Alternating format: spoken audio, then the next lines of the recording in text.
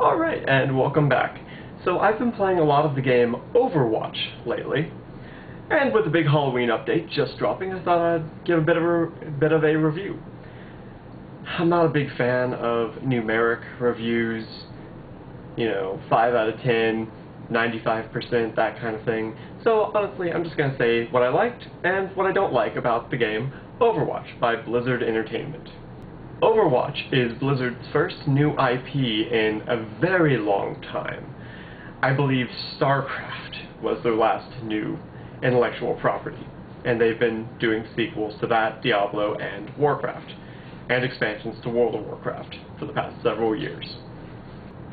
Overwatch is a team-based shooter, in the vein of Team Fortress 2.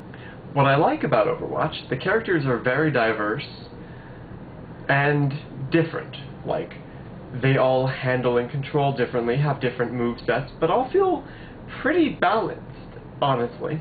I like that there is no voice chat. You have to communicate through the in-game chat options. Or characters will just scream out, I need healing, or something whenever they are low on health. I like that. I don't need six-year-olds yelling in my ear. The environments are beautifully done, and the character models are very well animated. Now the main downside that I have with this game is the lack of modes. There is no single player mode. Most of the game is team versus team gameplay, which is fun, but there's not much in the way of versus AI. With the Halloween event that just came out, it is team versus AI, which is nice my roommate is a big fan of that, not so much a fan of player versus player gameplay. Now, something that I do not like about the game is the unlocking system. Basically, you get a loot box every time you level up, and this loot box contains four items. These items could include an alternate skin for a character, sprays, which you can equip to a character and go and put it on a wall, or voice lines, or rarely in-game currency. The items that you get are completely random, and duplicates are possible. If you want a specific skin for a specific character, you can buy it using in-game currency, but the only way to earn in-game currency is from these loot boxes. And again, you only get a loot box once you level up. Leveling up takes more experience points every time you do it. So at this point, I'm level 21 or so, and it will take about 21,000 experience points to level up and get the next box. This brings in another issue of the Halloween event replaces the standard loot boxes with Halloween loot boxes that will give you a Halloween themed skin, or a saying or a spray or something, and this will only run until the end of the month of October. Which means you only get one box per level, maybe four, you know, four items. If you're lucky, you don't get a duplicate or in-game currency every time you level, and you'll level a handful of times during the, you know, duration of this event.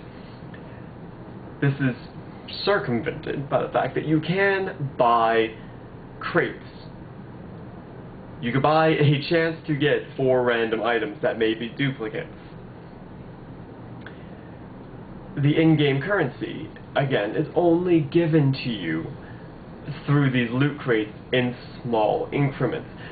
If you want to buy a skin, it usually costs about a thousand in-game credits, and the box that you just got, you got a duplicate skin, so it gave you 150 pity credits. Thankfully, for the Halloween event, you can buy skins using in-game credits. The previous event, the Summer Games event, you could not spend credits on those. You had to play the luck of the draw box game for that.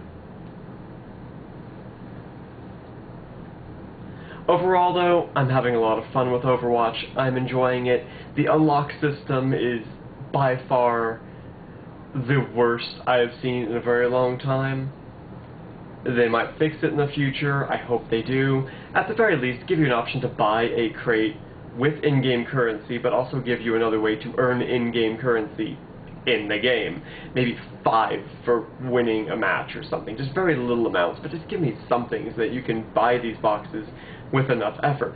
I know that's kind of the same thing as the level up you get a box system, but not really because of the experience points being more and more and more each time. Anyway, final verdict. I like Overwatch. I would suggest you go buy it. I play it on the PS4. If you want to add me as a PlayStation Network friend, just let me know. Message me in the comments or in the private message box or something. Anyway, thank you very much for tuning in to my little review here, and, well, if you do enjoy the game, hope to see you in it.